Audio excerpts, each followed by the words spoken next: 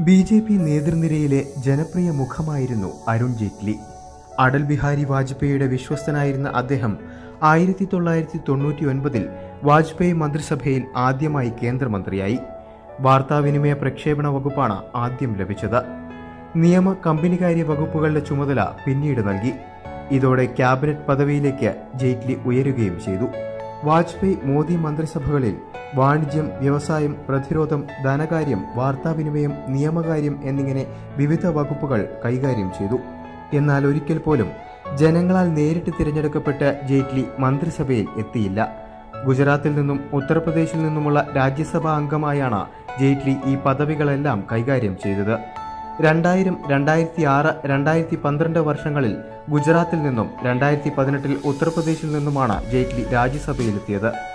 B J P നിർണായക ശക്തിയായി മാറിയ രണ്ടായിരത്തി പതിനാലിലെ തിരഞ്ഞെടുപ്പിൽ പഞ്ചാബിലെ അമൃത്സറിൽ നിന്നും ആദ്യമായി ലോക്സഭയിലേക്ക് മത്സരിച്ചുവെങ്കിലും കോൺഗ്രസിന്റെ ക്യാപ്റ്റൻ അമരീന്ദർ സിംഗിന് മുന്നിൽ പരാജയപ്പെട്ടു.